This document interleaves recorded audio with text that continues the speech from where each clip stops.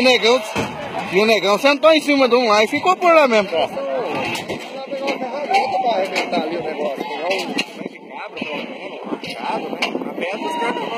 Deixa.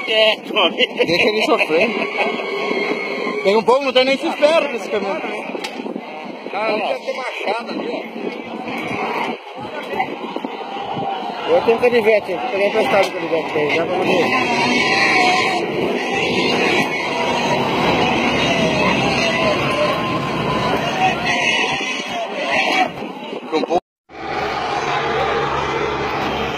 Aí, ó, acabou de tomar uma carreta de porco aqui na BR.